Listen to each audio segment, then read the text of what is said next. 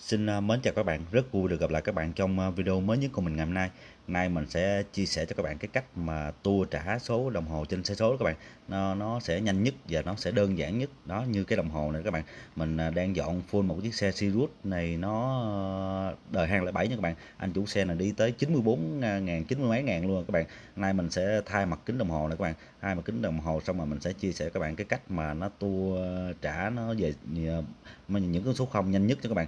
Đó à, sẵn mà mình làm clip mình ờ, chia sẻ cho các bạn luôn ờ, những bạn nào mà bên dọn xe thì sẽ làm cho nó nhanh hơn. Đây ví dụ trước tiên thì mình à, tháo mấy cái bóng đèn ra trước các bạn. Mình để mình đem xuống làm cho nó dễ các bạn. Tháo mấy cái bóng đèn này ra trước nè.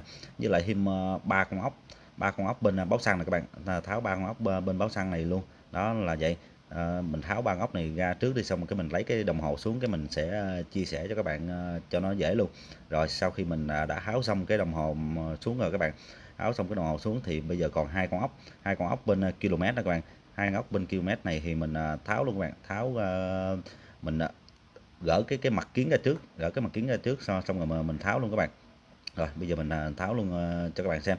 Tại vì cái cách uh, tua trả cái đồng hồ uh, bên số này á, là nói chung là mình chia sẻ bên cái vấn đề này á, chủ yếu là cho các bạn bên dọn xe làm cho nó ờ, nhanh và nó tiết kiệm thời gian hơn. Còn những ờ, còn ví dụ mà các bạn mà, mà mua xe các bạn khỏi cần nhìn đồng hồ ờ, nha các bạn khỏi cần nhìn đồng hồ km tại vì những cái đồng hồ điện tử người ta bây giờ đã cũng đã tua được rất là rất là lâu rồi. Đó bởi vậy mình không có Ờ, mình không có cần quan tâm để ý. Đó bây giờ mình tháo ra các bạn. Tháo ra cái cụm số này các bạn. Rồi bây giờ ờ, đã tháo cái cụm số ra xong. Tháo cái cụm số ra xong thì mình sẽ lấy cái nhông ra, ra các bạn.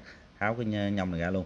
Tại vì cái này á, lúc mình đem ra thì mình tua nó, nó nó dễ lắm các bạn. Tua nó nhanh lắm. Đây trước tiên thì mình ờ, cầm hai cái g cái hàng chục ngàn này các bạn. Đó các bạn giữ hai cái g của cái bên cái hàng chục ngàn nè. Các bạn xoay ngược về cái cái hướng của mình đó, đó xoay ngược về như vậy thì, thì nó sẽ trở về cái hành số không các bạn đó là vậy. Các bạn nhờ cầm hai g này dĩnh hai g này. Thì uh, mình uh, làm cứ uh, từ hàng chục ngàn hàng ngàn rồi hàng trăm rồi hàng chục rồi hàng số. Đó là vậy. Nó sẽ nó ra các bạn. Đó mình tu tu ngược đi vậy nè. Thì có cái có những cách đó, có có nhiều bạn đó, thì nói chung nhiều cách lắm. Nhưng mà cái cách này thì mình sẽ thấy nó sẽ nhanh hơn các bạn. Đó được về con một hàng chục ngàn được con số không này các bạn. Rồi bây giờ mình sẽ cứ tiếp tục mình sẽ tua cho các bạn xem luôn đó là vậy các bạn. Tại vì thí dụ mà bây giờ các bạn mà có mua xe các bạn đừng có nhìn đồng hồ ờ, số ờ, đồng hồ km những cái đồng hồ km của ờ, đôi khi mình không quan trọng. Quan trọng chủ yếu là mình nhìn bên máy xe hoặc là về ngoài thôi chứ những cái đồng hồ là mình sẽ không quan trọng nữa các bạn. Đó à, rồi bây giờ mình trả về hết rồi các bạn. 00707 đó là 00 khắc nha các bạn. Đó rồi bây giờ mình à, sẽ tiến hành mình gắn lên. Đây với lại thêm một cái nè các bạn đừng có tháo cái phe này ra rồi các bạn uh, tua nó nó lúc các bạn gắn vô nó khó lắm. Là như vậy các bạn. Rồi bây giờ mình sẽ ờ, gắn lên ờ, cho các bạn xem. À, mình sẽ gắn cái nhông này vô lại rồi cho các bạn xem cho nó dễ. Tại vì thí dụ mà như những cái đồng hồ uh, xe mà mình các bạn mà dọn á, đi lâu ngày mà cái hàng chục nó nó lên cao quá xong các bạn gắn cái mặt kiến đồng hồ vô lại thì uh, còn cái cái cái cái số nó cao quá hay thấy nó cũng không không đẹp thì các bạn phải bắt buộc uh, mình trả về cái ờ, số 0 các bạn cho thành nguyên một cái xe mới luôn á mà lúc mình dọn mà lúc mình gắn vô cho nó đẹp. Rồi sau khi mình đã vệ sinh cái mặt đồng hồ xong các bạn mà vệ sinh mặt đồng hồ xong cái mình sẽ gắn cái kiến vô cho các bạn xem nè. Nhìn thấy rất là mới nha các bạn.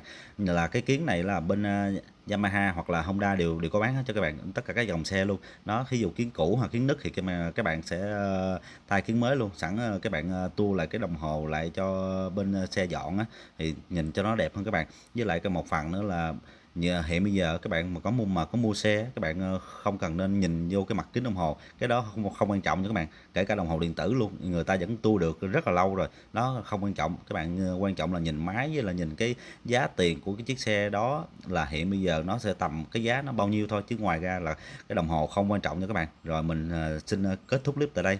Mình xin chúc các bạn thành công và mình xin cảm ơn các bạn đã theo dõi.